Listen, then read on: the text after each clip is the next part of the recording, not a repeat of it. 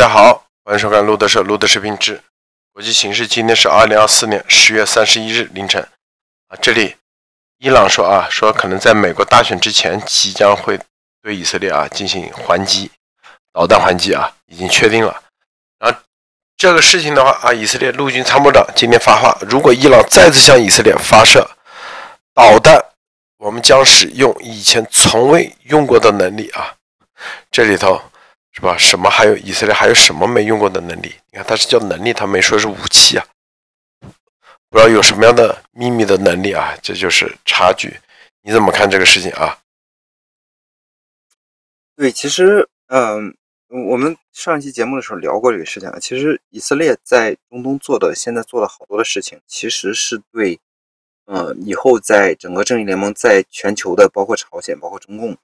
这边的话，一个。呃，研发可以说是一种研发，就是在战场上进行的一些研发，出现了好多事情呢。其实，与其说是一个反应，倒不如说是一个借力打力的一个过程。换句话说，就是说，可能以色列的这些，呃，说过的这个从未使过的这使用过的这些能力啊，可能说他本本来也应该拿出来。那么现在的话，就相当于说出一个什么事情，出一个飞飞机南大功的这个事情，就接着哦，好，我们下一步，对吧？它其实是一个推进的一个过程，或者说是一个。怎么讲？就是就是用的一个一个方式吧。对于说，包括我们，我记得上一期节目的时候也聊过，对吧？就是说，你说韩国跟美国这边结盟的话，聊了多久了？它肯定不是说三五个月的问题，对吧？那已经聊了很久很久了。包括今天这个呃太平洋呃舰队的这个账号啊，X 的账号发出来，将军跟这个呃韩国的这边军方的一些一些会面等等。所以说这个事情一直在做。那么现在的话，就是说哎。为什么要做这个事情呢？因为因为这个朝鲜试试射这个导弹，对吧？然后造成了这个威胁。朝鲜能不能不试射？他也不能不试射。这个发发生的这些事情的话，就相当于说，与其说是一种一个事情导致了另外一个事情，倒不如说是邪恶轴心这边和这个正义联盟这边都在往前推动他们该推动的事情。然后现在就相当于说，用这种是一个一个的事件在在在相互的起一个作用。那么，如果说去猜想一下的话，以色列。将会使用什么样的能力？我们回想一下，当时出这个传呼机的这个事情之前的话，你去猜，就我们普通老百姓去猜，对吧？你说这个，呃，突然这个所有恐怖分子带着这个传呼机或者说对讲机一下就都爆掉了，对吧？可以说就是一个科幻小说的一个情节。对于对于，可能说有人能够想得到，脑洞打开就想得到，但是很难，我很难想象有谁在不知道这些情报的情情况下来讲的话，能够猜得出来这个事情肯定会存在。相信对于说以色列这边的话，也是。现在处于这么一种情况，比如说我们好多这种在科幻小说里边看到了，比如说像什么反重力武器啦，然后这种量子的，就相当于说超越了时间和空间的维度的这种武器啦，甚至包括什么什么什么瞬间传输啦等等啊，就我们可能在脑洞在想的一些科幻小说里边的情节，对吧？现在有没有可能就是说在下一步的时候就会就会出现？那么在以色列或者说正义联盟这边的话，在一步一步的演习、做研发、打磨他们的整个的这个流程。在逼近的这个过程当中的话，其实对于，呃，中俄一这边的话，特别是对于哈梅哈梅内伊这个点上来讲，我我猜的话，就哈梅内伊可能现在处于这种 天天在骂娘的一个状态，对吧？之前说 又是扶植这个胡塞武装，又是扶植珍珠党，又是扶植哈马斯等等，它有一个基础的一个前提，最基础最基础的前提是什么呢？你说要武器，俄罗斯和中共这边的话可以给，包括核武器的话都可以给，都可以给你，对吧？然后你说要这个防御，对吧？可以给你挖地道，然后这个派工兵过去，然后给你挖很深很深的地道，对吧？你说这个搞这种超限战，或者说搞这种呃当地的这种这种什么政局上的这种这种搅和，对吧？你说说我，我说说你，对吧？可以可以给给你提供这个情报的资支持，可以给你提供资金的支持，包括说这个伊朗去被国际世界国际社会已经制裁成这个样子了，还能有那么大的这种。军力上的一个部署的话，可以从可以说从物资加武器加情报，然后加技术人员等等的话，这些东西的话，背后这个中国的这个影子是是肯定离不开的。为什么？因为就中共在中东的这种这种深深耕来讲的话，跟这个俄罗斯比起来的话，肯定是中东呃中共在这个地方还是它的一个基本盘嘛，基本上还是它这个能够出这种大力的地方，对吧？但是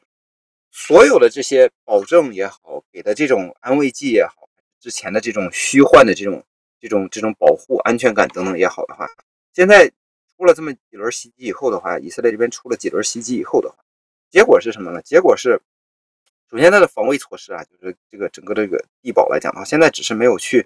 炸这个哈维内伊的地堡而已。但是从真主党当时的这个情况来讲来看的话，包括当时这个斩首哈马斯的这个呃领袖的这个过程当中来讲的话，你可以已经看得出来，这些人已经在中东的这些恐怖分子啦、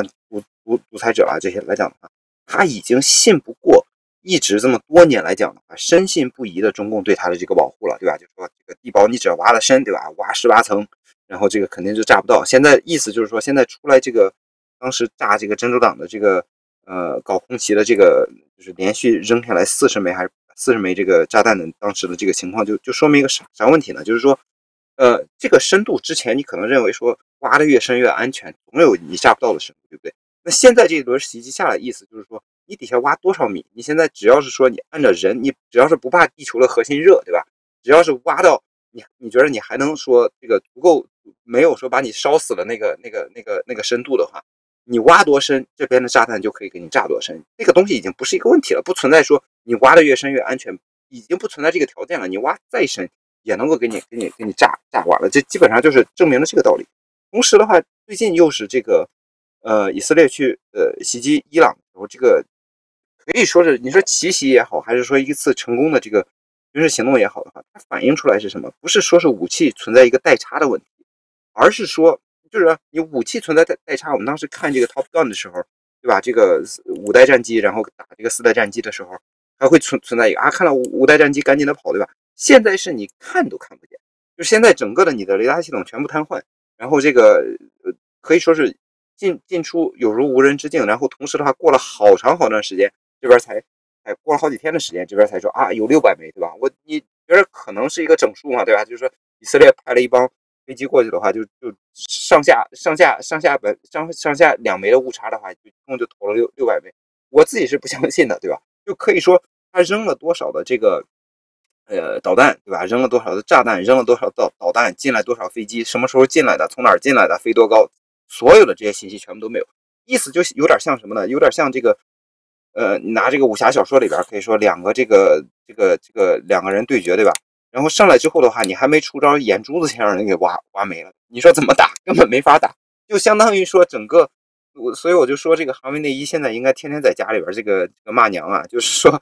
之前的你说躲的地方，对方已经给你证明，拿数据啊，拿事实给你证明，你你没地儿可躲，对吧？同时的话，你说还手，我就这个拼了命了，跟你拼老命打，对吧？发现。这个你你眼珠子给人挖没了，对吧？那现在的话怎么办？除了说动动动嘴皮子，还能怎么办？现在基本上就处于这么一种状态。那么在这种情况下来讲的话，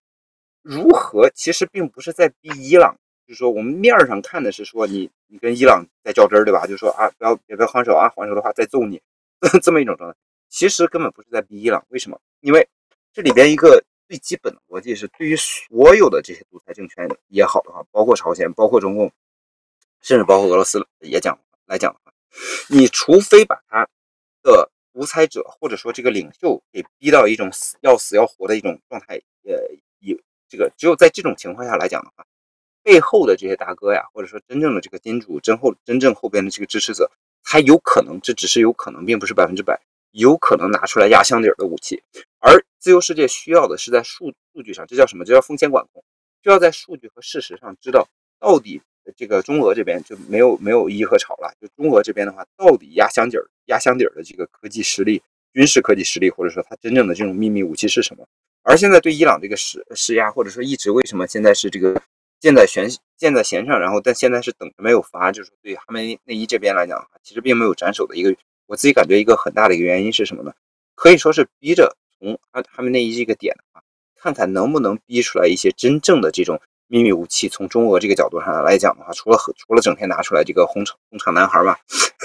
就是说除了整天拿出来吓唬人的这些这些这些老老老旧的这些核武器以外的话，有没有说一些真正说在事实上有可能造成一些威胁的武器，对吧？现在其实一步一步的往前逼逼近的过程当中，我自己感觉这是非常非常重要的一一环，因为整个西方自由世界，他不希望说他做任何的这种军事行动啊，别管是。呃，这个乌克兰还是呃以色列，还是说美国来讲的话，他不希望造成任何的这种呃人员的伤亡或者老百姓的伤亡，他希望说把这些不必要的伤亡能够降到最低、最低再低，对吧？那么你降到最低的前提是你知得知道对方手里边有什么。那么现在其实是就是处于一个可以说可能西方自由世界手里边的这种秘密武器，或者说这种这种呃能力啊多一些，然后这个邪恶轴心少一些。但是问题是，邪恶轴心可以不用按照法律去操作，不用按照人道去操作，对吧？在这种情况下，从风险管控的角度上来讲的话，自由世界肯定也不会一下就把自己的这个底牌亮出来，而是说。希望通过各种各样的施压，最有利的这种施压的方法，其实就是这些独裁者的命，对吧？在这个角度上来讲，施压看看能不能去把它给给拿出来一部分，这是一一种一种一个方面。另外一个方面的话，我觉得还有一种可能就是说，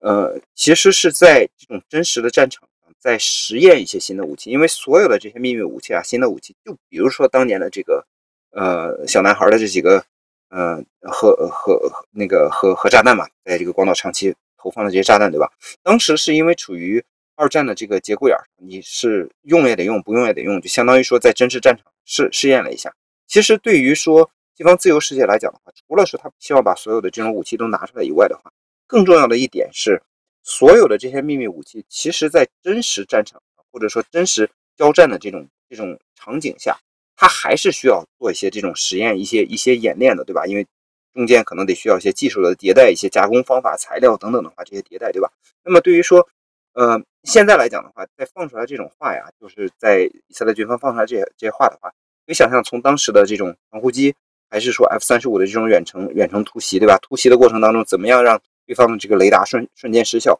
其实这个研发的过程当中，其实都是很危险的。就是说，如果说，呃，这些你用的这些新武器的话，没有那么的。严谨，或者说有有有一些些有一点点的这种，嗯，测试可能没有去准备好，它都是有可能造成一些意外的。就是每一个人的人命都是非常值值钱的。对于自由世界来讲，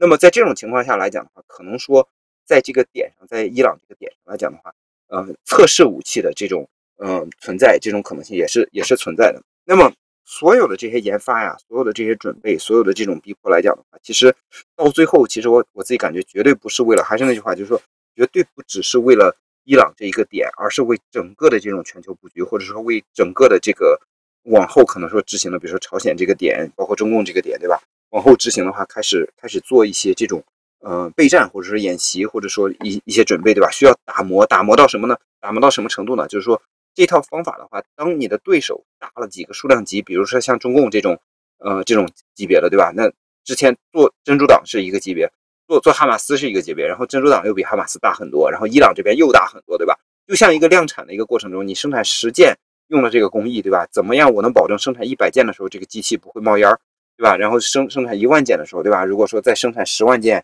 对吧？然后一千万件的时候不会冒烟儿，它整个在打磨这套系统，一点一点的把它打磨出来。一直到说十拿九稳，就真正的是十拿九稳稳的时候，可能说这种，呃，任何出一个这种飞机弹大功的这种这种事件的时候，就可以造成这个全面的这种行动来解决什么呢？解决这个藏在背后一直使阴招的这个这个中共，一定要把这套体系让它崩塌掉。嗯，先分享这里，交还给您，陆德先生。呃，你你觉得这个它会有什么样的，就是什么样的秘密武器？你觉得啊？什么样的秘密能力？我们脑洞一下，直观想啊！我觉得，我觉得我猜还是比较难猜这个这个东西来讲，就是可能从咱说一个行为模式吧，就是说，呃，从行为模式上来判断上来讲的话，从这个包括说乌克兰战场，包括说，嗯，做这个哈马斯做掉哈马斯和做掉珍珠党这两个战场上这两个点来看出来的这个以色列的行为模式来讲的话。他并不是说是在追求这种早年间像这个二战的时候啊，这种大规模的杀伤性武器，对吧？就比如说这个你坦克这个火力大，我比你还大，或者说你这个炸弹爆炸力力力强，然后我就扔个核弹，对吧？已经不是那个年代了。现在整个的这个嗯模式的看到的这个模式来讲的话，应该说有这么几个点。一个点的话是相当于说是精准，这个精准甚至不光是科技上的精准，就包括说呃一些判断，就比如说。我们在乌克兰战场看到的这个无人机的这种这种操作来讲的话，相对于说海湾战争，其实都是一个很大的一个升级了。那么无人机的战战战场上，我们看到了好多这种视频上来讲的话，就是说在那儿，他其实花了大大部分肯定是反复观察观察观察。哦，对，这个肯定是一个敌方。而且这个人肯定是没有打算投降，给你机会，然后喊话没有机会，对吧？那好，上面扔一个炸弹下来，就就就相当于打扫战场。而在这个呃传呼机这个事情上，我们看到的是一个更加的精准，就是加上情报的精精准是什么呢？就是说它不是说牛不光是牛在这个武器本身，而是说它整个的这种操作方法来保证这个武器这个炸弹拿到的人肯定都是这个呃恐怖分子，对吧？然后跟这个恐怖分子有关系的，而且是你顶层的这些人，在这个情报的基础上再加上这个技术的话，就可以在比如说一两分钟的时间解决了好几千人，而且是定点清除掉好几千人，对吧？那么对于说往下呃执行的话，对于这种从未使用过的能力来讲，我自己感觉可能并不是像我们说放一个更大的烟花，或者说放一个更大的技术炸弹，我觉得可能并不一定是这个，而更有可能的可能是说这种精确的。定点的，而且说不光是科技，科技加情报加这种供应链加这些，呃，这个怎么讲啊？就是说识别啦等等的话，这这一类的话，一一种工具，这是这是第一种的这个方向能力的一个方向。然后我想着第二种的能力的一个方向是什么呢？就是说，其实对于嗯整个的这些军事行动上来讲的话，它有一个对于西方自由世界来讲，它现在的这种标准其实已经是就像刚才讲的，就是说。不是以你的杀伤力作为标准，而是说如何能够解除对方的这种威胁作为一个标准。就比如说，在这个之前打击伊朗的时候，你会发现，就是说他先把这个别管用了什么方法，其实到一直到现在都没有爆出来。我自己相信的话，应该不光是说雷达监测不到，就是说除了说我的隐身能力很强，有没有这种主动就让你的雷达不不工作了这种这种情况，对吧？那么在这个局面上来讲，除了说这种要定点定点清除掉一些这这些精确清除掉一些这种头头脑脑之外的话，一些恐怖分子之外的话，可能说对于说解除武装这个这个角度上来讲，是一个也是一个点。就同样是传呼机这个例子来讲，其实造成的死的数量其实并不是那么的多，大部分是重伤。那么重伤的时候就造成一个什么结果？造成说如果真主党想让这帮人。出去去到民营民房里边去再次发射导弹，或者拿健康导弹，或者是出去搞恐怖袭击，怎么样？不可能了。为什么？因为这帮人全部重伤，全部重住院了，对吧？还有一帮这个这个运到伊朗，这个做开始做这种对外宣传去了，对吧？他已经没办法是作为一种武装剧去放在前线了。那么同样对于呃伊朗这个体量来讲，对吧？可以想象的话，它除了有这种弹道导弹，就像这个当时的哈马斯和这个这个真主党这边有的这些以外的。它会有一些这种比较呃重型的一些武器，比如说它会有坦克，然后它会有自己的这种飞机，对吧？它会有这个呃机场，然后会有这些甚至说是洲际导弹都有可能有，对吧？然后核武器等等会有的，那么如何在瞬间的时间或者说很短的时间，对方没办法反应的情时间来来讲的话，除了说我让你的雷达看不到以外的话，我有没有可能让让你的这些里边的这些呃飞机，对吧？可能除了飞不起来，可能就自爆了，对吧？或者说这个呃你的这个。呃，所有的这些坦克来讲的话，就动不了了，对吧？这些东西的话，就是说，换句话说来讲的话，可能对于外界来讲，或者说不是非伊朗，就是就是不是参战被打的这一方来讲的话，可能看到哇，好好这个好牛啊，对吧？好精确啊，对吧？就但是不会像看了一个大的烟花那么的那么的绚烂，但是实际对它造成的杀伤的结果，就是说在极短的时间内，在几秒、几分钟、几个小时的时间内，完全卸掉你自己认为是本来是存在的一堆武装。然后可以在很短的时间内给你、你、给你卸掉，直接、直接、直接让这个原地解体，对吧？这种类型的话，我自己感觉是比较呃可能性的。所以说让我猜的话，基本上就这两个方面：一个一个方面是极其精确的这种定点清除；第二个第二个方面来讲的话，就是说对于它的武装雷达等等这些系统的话，可能说是也是一个瞬间就给它给它这个消灭掉了这么这么一种过程。嗯，交还给您，陆德先生。好的，由于时间原因啊，咱们今天节目就到此结束，别忘了点赞分享，谢谢。啊，三六六个先生，谢谢诸位观众们，再见。